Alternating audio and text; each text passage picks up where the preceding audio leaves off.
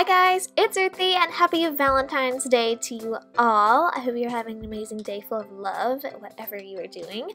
And today I decided to do a Disney coloring page. And if you can't already tell, I decided to go with Lady and the Tramp because it is Valentine's Day.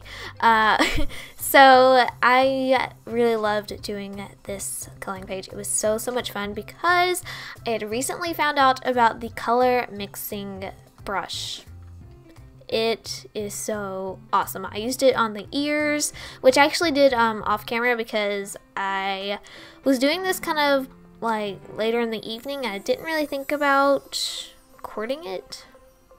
Yeah, kind of a mistake on my part, but um, Uh, so yeah. um, so I was working on the chest area and I was kind of trying to figure out where like my light source was coming from. Now I did know it was coming from the candle, so that was like so helpful because whenever I do some digital art, like my Sleeping Beauty coloring page, I had to kind of figure out where I had to like make up where the light was coming from, which is kind of difficult because um, I wasn't really just doing a bunch of shadows and everything in that. But yeah, hopefully I figured it out in this one and definitely added a little bit more shadows and highlights. So where the light is coming, she has a lot lighter um, like coloring on her ears or on her face.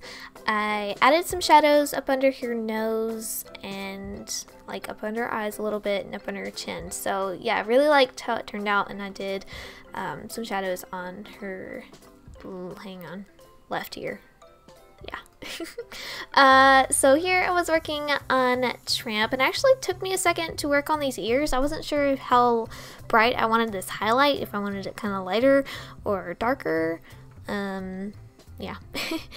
uh, so, oh, yes, I wanted to tell you, announce to you guys the names for Kevin and Kiki's parents. So, I wanted to thank you guys for voting for that. Uh, that means so much to me. Like, you want to, um, help me out here. Um, so I chose, like, I picked four names for you guys, one for each of the parents, and so the dad's name uh, is Calvin and the mom's is Kim. So yeah, I really liked how those names came out. I really uh, think they fit the characters themselves and I think you guys did amazing picking them out. Uh, I wanted to apologize for not having a video out on Monday. We had a bit of a crazy kind of week last week. Um, my parents were out of town, so we had to stay with my grandparents, so I had a couple scheduled videos for you guys but we actually came back on Sunday, so it was a little bit difficult to film a video that Sunday and then upload it the next and edit all of that. So I didn't really think about doing that ahead of time. I probably could have, but I didn't think about it, uh, so I apologize for that. Uh, but I am back now, and hopefully we can get back into the groove of things. So here I was working, excuse me, working on the shadow of the plate and the spaghetti was like a lot of fun to color. Uh, I don't know if I just did it exactly right. I think I would have blended them a little bit better. Um, so yeah. uh, excuse me, I'm losing my voice. Uh, but I didn't realize my uh, app bar, I guess if that's like the technical term, or like, I don't know what you would call that. I don't know. But I didn't realize it was up, and so I did actually turn it down for you guys because I like to keep it hidden so you can see the full screen and everything, but for some reason it was up. Uh, so then I decided, or not decided, but worked on the breadsticks, and they actually kind of look like hot dogs. I think just because it is in like the shadow, that's just the way it looks. Um, so yeah, this table was actually kind of difficult to color with all the shadows and everything.